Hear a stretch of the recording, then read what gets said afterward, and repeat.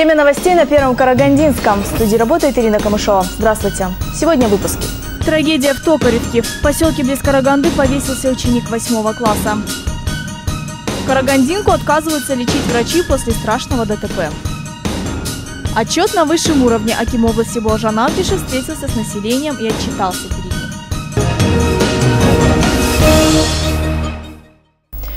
Трагедия Токаревки. В поселке близ Караганды повесился ученик 8 класса. Страшная трагедия произошла 19 февраля. Как рассказывают близкие погибшего, причина смерти возникла от его травмы, полученной еще три года назад. О большой трагедии маленького села Мирам Гульсла-Кимбаева тот злополучный день Нуржан Табаев оделся и вышел на улицу. О том, что произойдет страшная трагедия, никто не подозревал, говорит родной дядя погибшего мальчика. Только вот спустя несколько часов школьника нашли в сарае, висящем на веревочной петле. Предпринятые меры первой медицинской помощи не принесли положительного результата, и прибывшие врачи скорой помощи констатировали смерть юноши. Тут еще бабушки все дома были, соседки были дома. Никто ничего? Никто ничего, просто сидел и ушел. Убитые горем родные в шоке. Нуржан всегда был примерным мальчиком, говорят они. Учился на отлично, был гордостью бабушки. Однако в смерть своего племянника дядя мальчика до сих пор не верит. Даже в, уме не складывается. Даже не знаем, честно скажу. В школе, где учился мальчик, все в один голос тоже уверяют, что Нуржан был примерным учеником. Завуч по учебно-воспитательной части не знает, какие причины побудили школьника совершить суицид. Однако педагог отметил, что это может быть связано с его болезнью. Как выяснилось, три года назад Нуржан получил серьезную травму. Мальчик часто болел. Даже родные ребенка собирались оформлять на него инвалидность. Однако сделать это так и не успели. Сказать, что был хулиганом или неблагополучным ребенком, я сказать не могу. Вот по мере своих способностей занимался посредственно, ну, между тройкой и четверкой. Но проблема суицида, я думаю, что это, наверное, все-таки было связано с его здоровьем, потому что три года назад ребенок получил травму, играясь, э, лишился одной почки. Сейчас вот оформляли инвалидную пенсию, я думаю, что это именно связано с этим. К слову, по количеству суицидов среди молодежи на сегодняшний день Казахстан лидирует. Так, например, за 2011-2012 годы около 320 лиц в возрасте до 18 лет покончили жизнь самоубийством. Напомним, Нуржану Табаеву было всего лишь 14. Даже по положению, да, ребенок, если имеет такую серьезную э, травму или есть у него такая вот справка, да, он даже освобождается. Есть же перечень специальных заболеваний, от которых ребенок освобождается от переводных и выпускных даже экзаменов. Поэтому это ложь, я это отрицаю. Этого не могло быть, и тем более восьмиклассник. У него, э, можно сказать, что вот первый год после травмы он часто лежал в больнице, поэтому это неправда. Сейчас в сарае, где произошла трагедия, никто из родственников не заходит. Родные говорят, рана после смерти племянника еще не зажила. Мирамгуль Салкимбаева, Толигин Рашид, Евгений Афанасьев, Первый Карагандинский.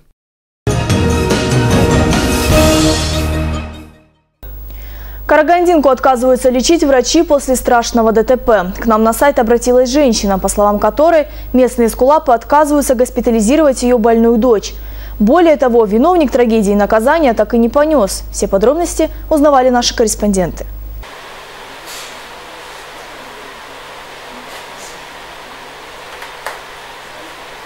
Любовь Слюсарева уже несколько недель обивает пороги медучреждений в надежде добиться справедливости. Женщина рассказывает, ее дочь отказываются лечить карагандинские медики. 25 января 29-летняя Ольга Слюсарева попала в аварию. На высокой скорости в легковушку, где находилась девушка, влетел пассажирский автобус. С многочисленными травмами, в том числе переломом ребер, лопатки и сотрясением мозга, ее госпитализировали в первую больницу Майкудука. Продержав чуть больше недели, пострадавшую выписали, невзирая на то, что состояние пациентки лучше не становилось случилось?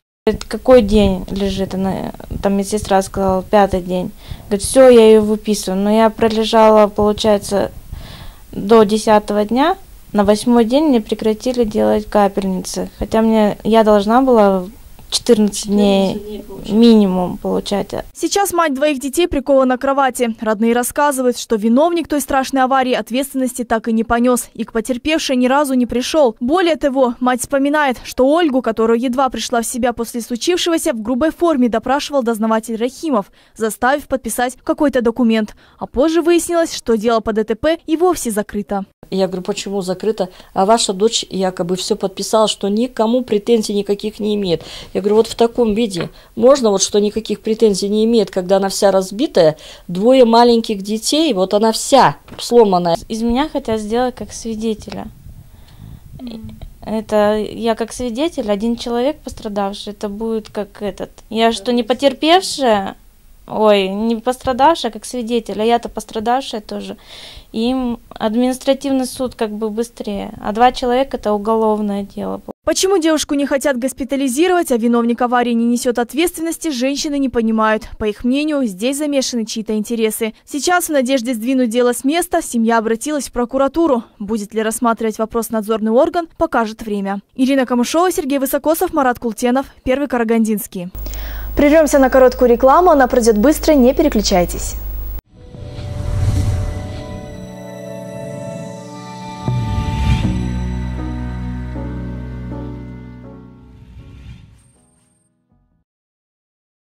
Молочная фабрика на Тиже представляет новый продукт ацидофилин. Бактерии акцидофилус выводят шлаки, токсины, очень устойчивы к действию антибиотиков, восстанавливают и укрепляют иммунитет. Японские медики называют ацидофилин страховкой от рака желудка. Натяже с заботой о вашем здоровье.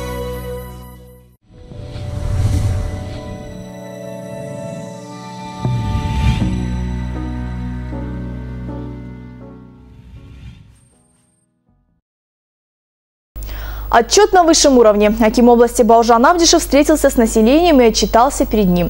Услышать главу региона смогли более трех тысяч человек, а задать вопросы смог каждый желающий, который сегодня попал в здание Нуратана. В этом году отчет проходил в онлайн-режиме. Подробнее прямо сейчас.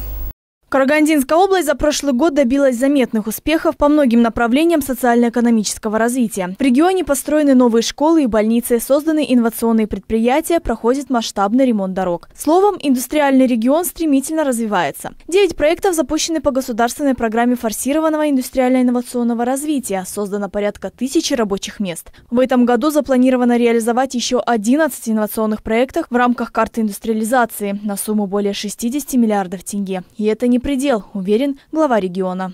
Работа по привлечению новых проектов должна стать еще более активной, причем главный упор мы будем делать на поддержке инвестиционных проектов, реализуемых в базовых отраслях экономики области, являющихся конкурентоспособным преимуществом нашего региона. Прежде всего, это угольная и горнодобывающая промышленности, металлургия и машиностроение, химические и фармацевтические промышленности и туризм. В регионе ремонтируют и возводят новые многоэтажки. Для каждого казахстанца жилье – первостепенный вопрос и прочная основа благополучия жизни, говорит Волжан Абдишев. В отчетном периоде по области введено 270 тысяч квадратных метров жилья, в том числе более 50 тысяч в рамках госпрограммы «Занятость 2020». В 2013 году по программе «Доступное жилье» планируется год более 300 тысяч квадратных метров жилья. Это 8 многоэтажных жилых домов в городе Караганде, Балхаше, Сатпаево, Шахтинске, Жанапинском районе. Получат жилье и дети-сироты. Таких в области почти 5 тысяч. Для этой категории в 2013 году будет выделено более 100 квартир. Послушать, чего добилась наша область за 2012 пришли сотни горожан. Более трех тысяч жителей региона смогли в интерактивном режиме пообщаться с Баужаном Абдишевым. Их интересовали вопросы развития образования, здравоохранения, выделения жилья, строительства и ремонт дорог. Несанкционированные свалки у вас в расчете было 1491 в этом году. А сколько это в сумме было? И почему за счет одних, это налогоплательщики деньги, вы вывозите, а остальные нет? А что касается несанкционированных свалок, которые на приеме, э, когда я приезжал с министром, задавали, да, вопрос стоит, это решение не одного дня, но сегодня мы эти вопросы прописали в правила благоустройства которые принимаем по области. Подняли горожане вопрос энергосбережения. Однако Карагандинка поинтересовалась наличием энергосберегающих ламп в доме самого Баужана Абдишева. Как оказалось, глава региона – ярый борец с энергодефицитом в регионе. Мы все сегодня этим вопросом должны заниматься. Мы должны себя дома ставить, переходить на энергосберегающие лампы. Они у меня есть. Я всех вас призываю тоже вместе, потому что вы видите, я уже в докладе сказал, какой сегодня у нас э. Все вопросы Баужан Абдишев внимательно выслушал. Ни один из них не остался без ответа. Высказанные критические замечания и предложения будут взяты в работу, и за их реализацией будет установлен постоянный контроль, подытожил глава региона. Ирина Камышова, Тулиген Рашитов, Марат Култенов, Первый Карагандинский.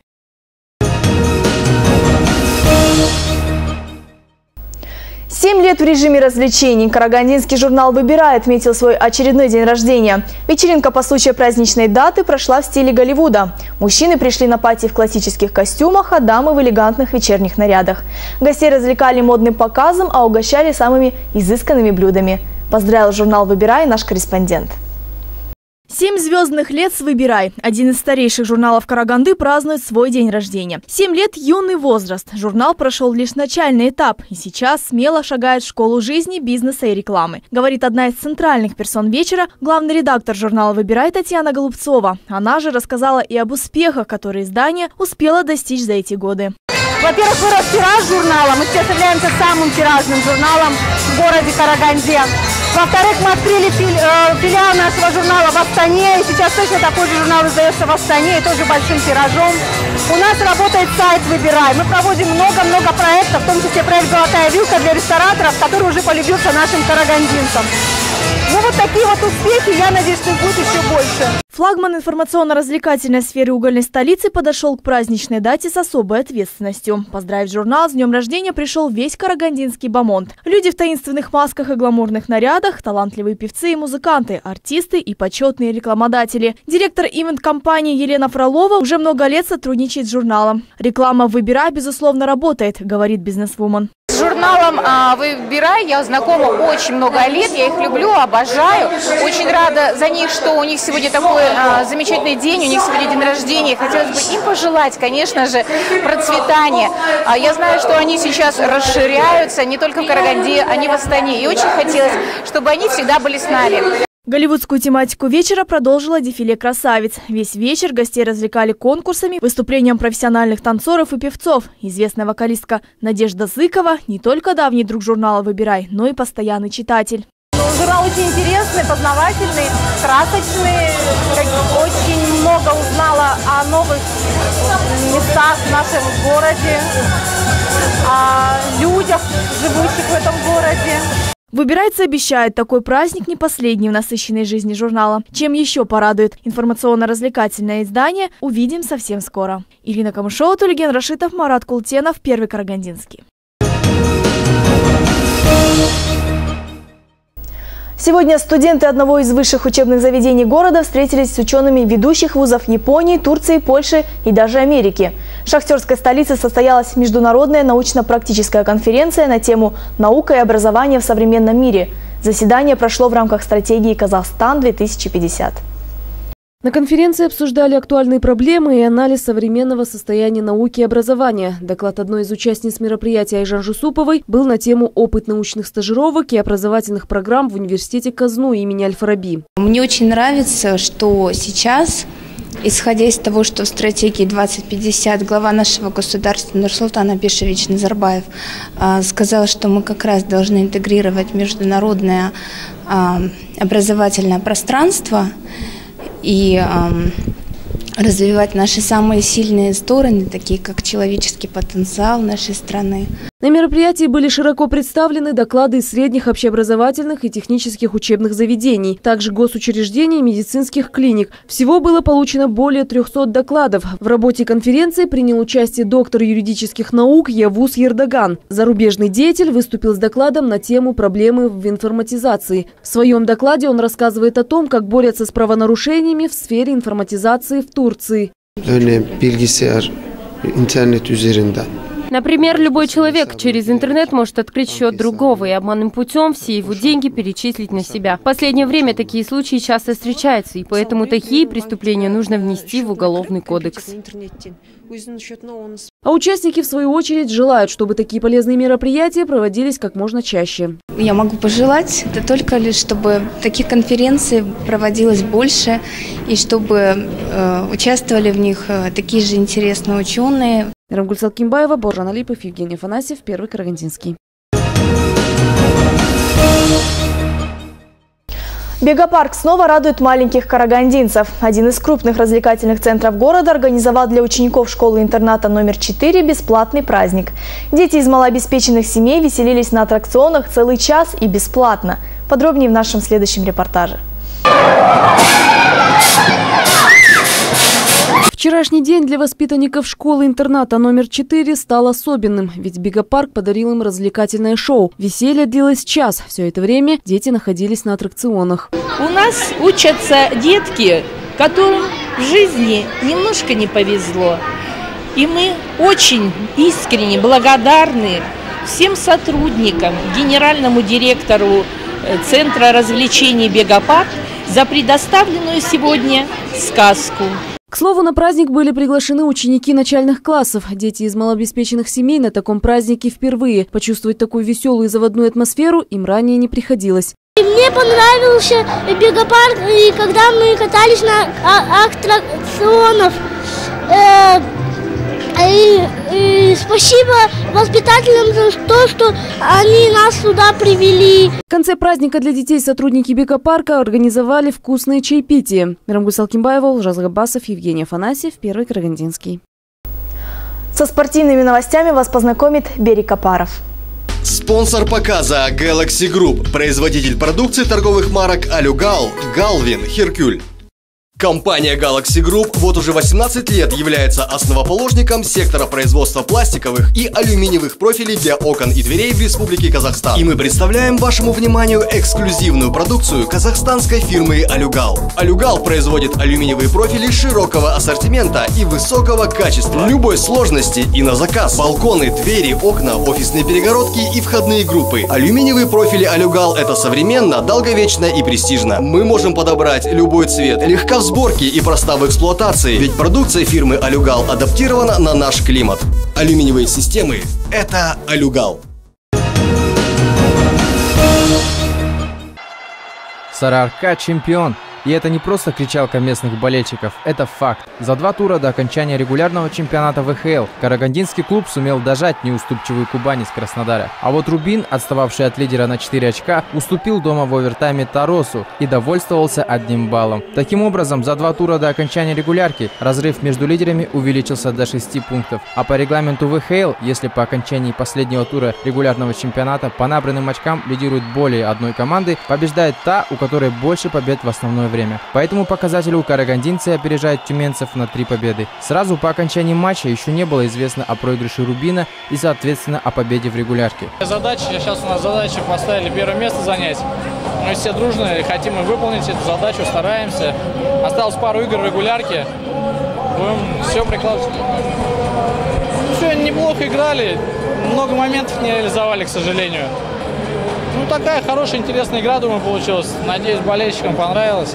На послематчевой пресс-конференции оба тренера довольно сдержанно поделились мнениями о матче, поблагодарили друг друга, прессу и разошлись. А тренер Сарарки Михаил Пикалов, видимо, держал в уме заканчивающуюся встречу Рубина и Тароса. Здорово сыграл Денис Францкевич, вратарь наш, выручил, конечно, в третьем периоде. Но ни в коем случае никто не бережет, все выходят и бьются до конца. Ну, нам где-то не повезло, маленькое завершение. Как бы. Ну, как говорится, может, сильнейший побеждает, поэтому все бы своих игроков поблагодарить за хорошую игру, самоотдачу. Хотя мы находимся в зоне черте плей-офф, очки нужны. Ну, чуть-чуть где-то не повезло, это игра хоккей.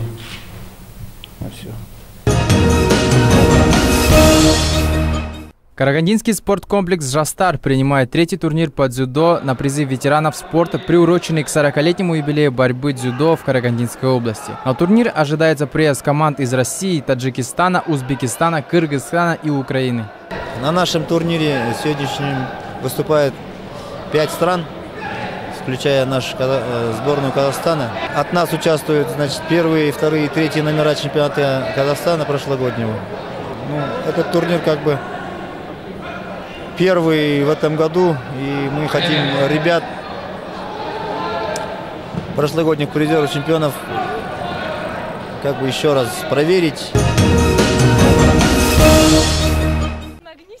На спортивной базе Карагандинского экономического университета Каспотребсоюза стартовала седьмая спартакиада среди студенческой молодежи на призы Акима Карагандинской области. Спартакиада очень обширная включает в себя 12 популярных видов спорта и охватывает практически все виды спортивной деятельности. Соревнования включают в себя как народные казахша-курес и догус-кумалак, так и традиционный баскетбол, волейбол, теннис и другие. Спартакиада проводится традиционно, седьмой раз в этом году.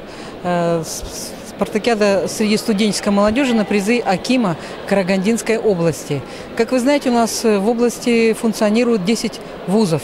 Из них сегодня принимает участие 8 вузов. Вы знаете, что э, мы сейчас готовим очень много, проходит мероприятия по подготовке э, зимней спартакиады, всемирной зимней спартакиады, которая пройдет в Казахстане, в Алматы в 2017 году. Это все, с чем успели познакомить вас корреспонденты Первого Карагандинского. Я напоминаю телефоны новостной службы 42 06 49. Звоните, делитесь интересной информацией. Я желаю вам приятных выходных. Всего доброго. Сау Саубон